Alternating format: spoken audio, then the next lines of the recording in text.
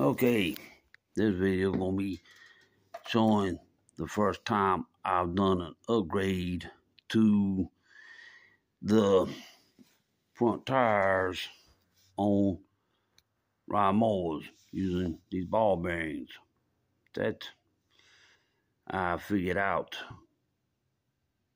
a few things I needed, and I'm going to be uh using them. I'm gonna be using a little bit of Super Tech 10W30 oil, either a one inch impact socket or one smaller than, which is a 15 16ths. But I gotta get this stuff done because I'm tired of sitting around doing nothing all day being retired. So I'll get y'all set up and let's see if we can get this party started.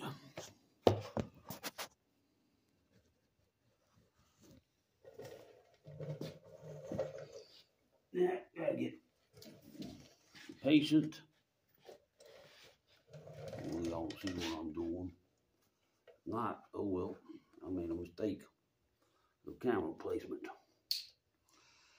Get a little oil on my finger wipe it around in the uh, center hub. And then we go on my finger a little bit wipe it around the outer race of the bearing. It makes it go in easier You can use any kind of lubricant you want to do this. Just make sure that you have no issues with the center hub opening.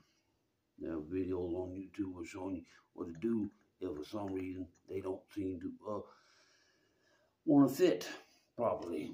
get a rag and wipe my finger off. It's get them real messy.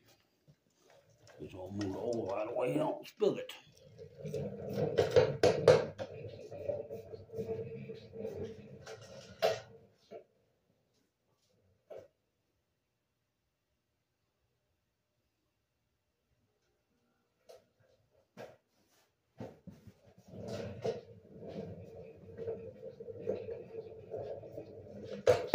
Let's see.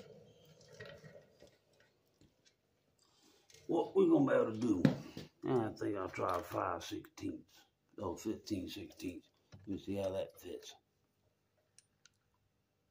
Yeah, I'm going to use the 15 sixteenths.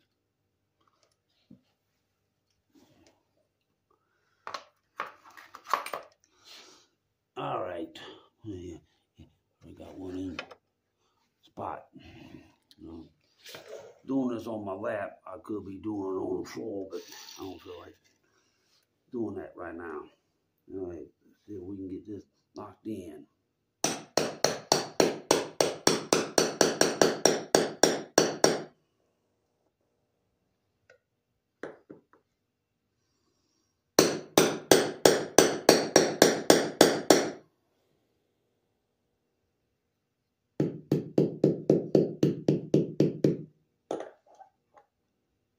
Make sure that you get it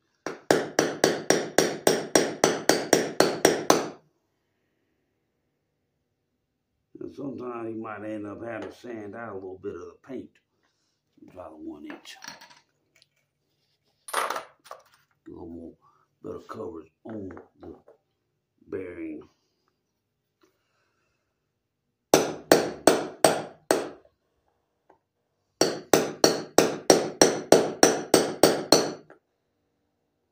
Yeah. We'll probably end up having to put this on the floor to get it knocked in.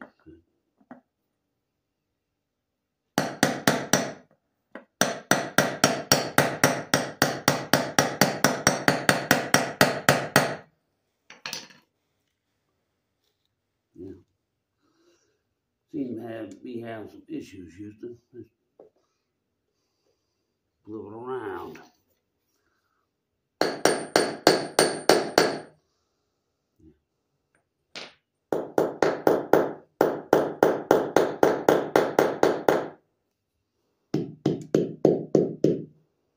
Yep.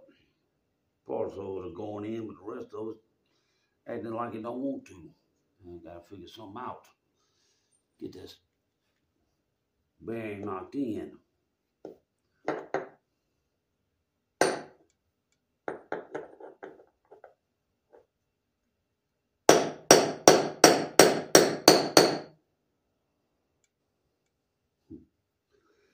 Yeah, Houston, we got a little bit of an issue. I might have to take some sandpaper, sand this out.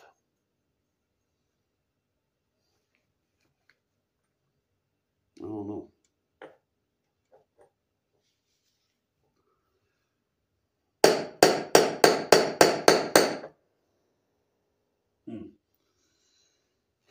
Well, gonna bring y'all back when I get this figured out because for some reason the bearing is going in in one spot but not going in the other.